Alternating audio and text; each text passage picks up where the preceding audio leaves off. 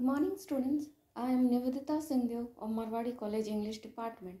Today, I am going to take your online classes for elective English for class 11th and that is of 100 marks. We will start with the stories. Class 11th elective English marks 100 textbook woven words lesson number 1 the lament by Antony Anton Chekhov. It is a Russian story and the writer is a oh, Russian. It is twilight, a thick wet snow is slowly trailing around the newly lighted street lamps and laying in the soft thin layers on roofs, on horses' backs, on people's shoulders and hats. The cab driver, Iona Petopov, on is a quite white and looks like a phantom. He is bent double as far as human body can bend, move. If a whole snowdrift fell on him, it seems as if he would not find it necessary to shake it off. His little horse is also quite white and remains motionless. Its immobility, its angularity, and its straight wooden looks, looking legs, even close by, give it the appearance of a gingerbread horse worth a kopeck. It is no doubt plugged in deep thought.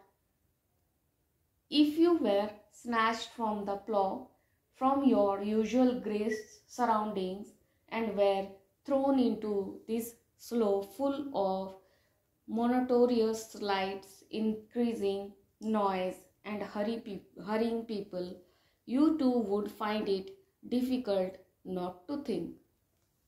The story starts when it is twilight यानी कि शाम के समय का समय है जब ये कहानी शुरू होती है। शाम के समय मौसम थोड़ा भीगा था, चारों तरफ़ बर्फ़ बिखरे हुए थे और उस समय स्ट्रीट लाइट्स जलना शुरू हुआ था। वहीं पे एक कैब ड्राइवर जिनका नाम इयोना पेटपॉफ था, वो वहीं खड़े थे। उनका एक घोड़ा गाड़ी का कैरेज था जो जिसे वो कैब के टैक्सी के तौर पे चलाया करते थे। वो लोग सवारी के इंतज़ार में, उसी स्ट्रीट में, रास्ते में खड़े थे और इतना स्नोफॉल हो रहा था और उनके ऊपर, उनके हैट पे, उनके कंधे पे, घोड़े के पीठ के ऊपर, बर्फ़ जम रही थी, लेकिन दोनों ही बिल्कुल मोशनलेस थे हिलडुल नहीं रहे थे। और ऐसा लग रहा था कि उन लोगों को परवाह नहीं है कि उनके ऊपर स्नो जमा हो रहा है। वो लोग हिलडुल भी नहीं रहे थे, जिससे कि बर्फ़ नीचे गिर जाए। वो लोग उसी जगह पे खड़े रहे, एक ही जगह पे। और इंतज़ार करते रहे। धीरे धीरे भीड़ भीड़ बढ़ती गई। लोग आना जाना करते रहे। लोगों का आ, आने जाने का शोर सुनाई देने लगा।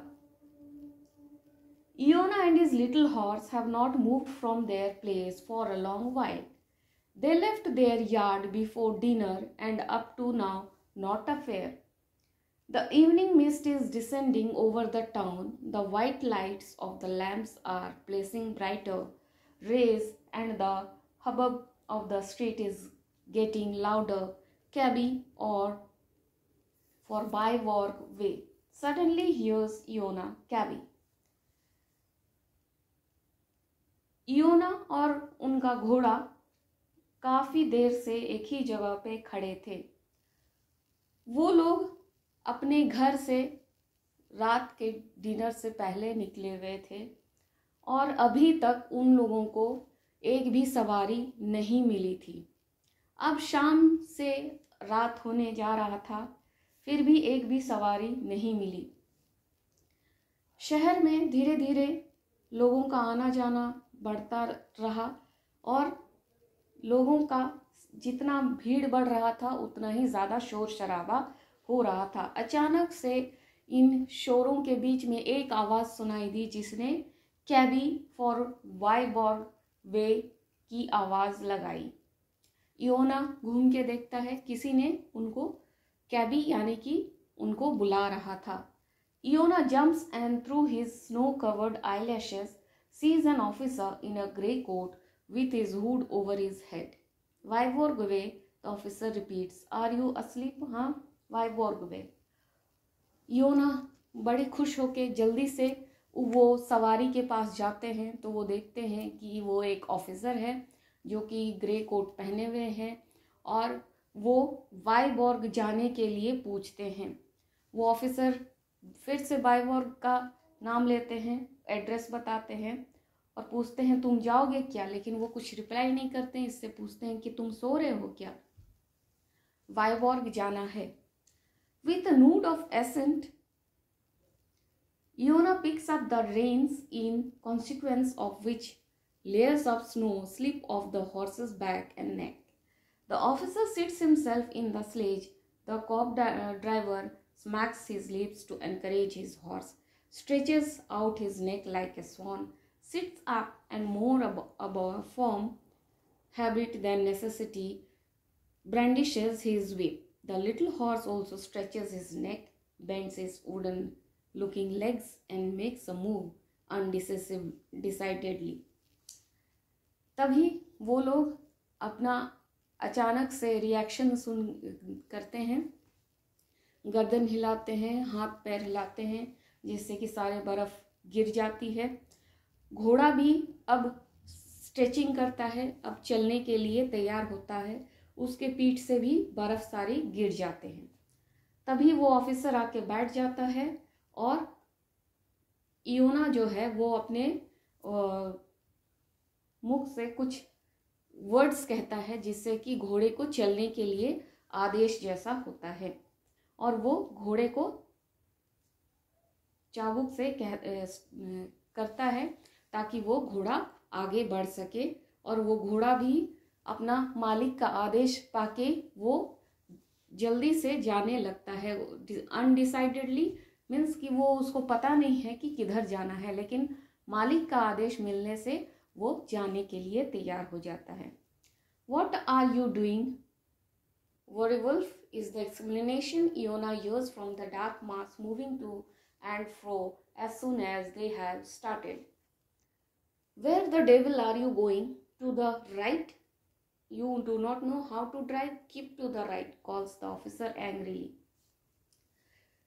तभी अचानक से वो ऑफिसर देखता है कि ये घोड़ा किधर जा रहा है उल्टा साइड जा रहा है तो वो फिर उनको कहते हैं कि राइट से चलो राइट से जाना है और वो उनको डायरेक्शन देते हैं कि हमें किस तरफ़ जाना है a coachman from a private carrier Suez at him a passer by who has run across the and rubbed his shoulder against the soldier's horse's nose, looks at him furiously as he sweeps the nose snow from his sleeve.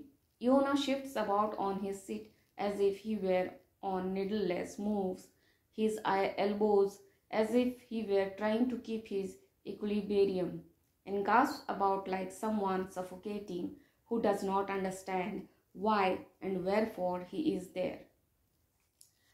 तभी अचानक से एक private carriage वाला वहाँ से सामने से गुजरता है और उनके घोड़े के नाक से उनका शोल्डर टकरा जाता है। जिसकी वजह से वो गुस्सा करते हैं और उनको कहते हैं कि वो किस तरह से चला रहे हैं, किस तरह से मूव कर रहे हैं। घोड़े को, उनको आता नहीं है क्या?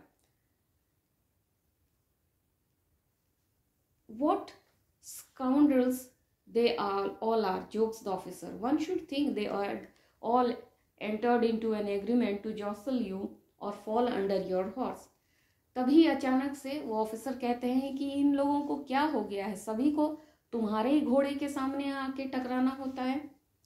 वॉट योना looks around at the officer and moves his lips. He evidently wants to say something, but the only sound that issue is a snuffle.